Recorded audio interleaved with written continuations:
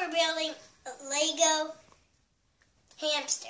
This is what it's going to look like. So,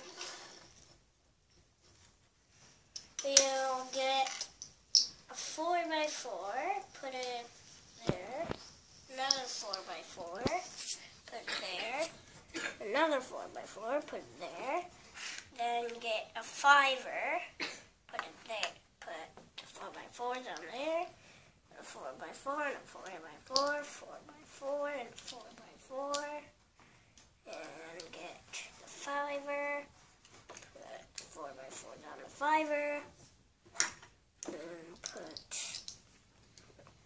a 4 by 4 and a 4 by 4, and put the 4 by 4 and like that, 4 by 4 on like that, put it on the fiver,